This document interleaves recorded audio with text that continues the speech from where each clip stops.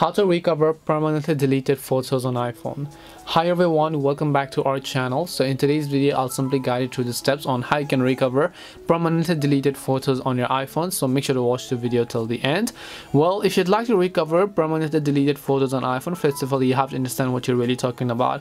iPhone usually backs your photos in two main places. One is their photos recycle bin and the other is your iCloud. So if you've backed them up to iCloud and you deleted it from your device, then you can still restore them from your iCloud account. But if you've not backed them up and then you deleted it from your photos you can restore it from your recently deleted tab. But even if you deleted it from the recently deleted tab then there's no way you can get your photo back so you have to keep that thing in mind.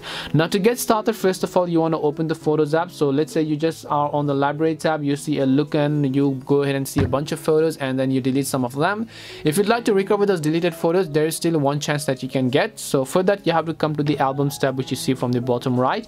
Then scroll down under utilities tab you'll find a section it says recently deleted. You want to make sure to just tap on recently deleted and then unlock with your face id or your face authentication.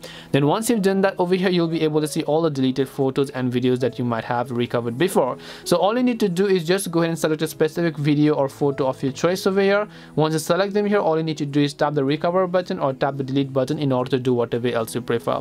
But to give you a basic idea this is simply it on how you can recover permanently deleted photos on iphone. Hope this video was helpful to you guys and if it did help you make sure to leave a like and subscribe to our channel if you have got any questions then feel free to leave them down. Thank you for watching and see you in the next video.